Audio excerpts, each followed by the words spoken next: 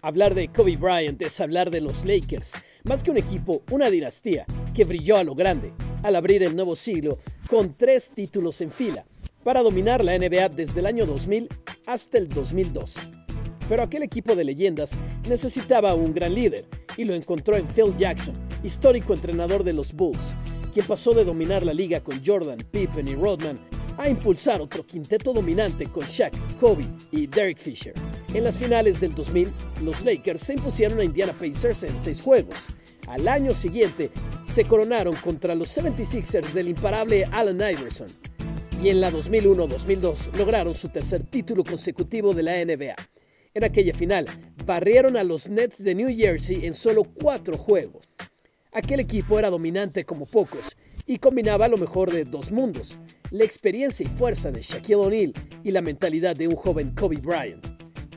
Aquel que se hizo leyenda con el equipo de Los Ángeles para unir su nombre y el de los Lakers para toda la historia.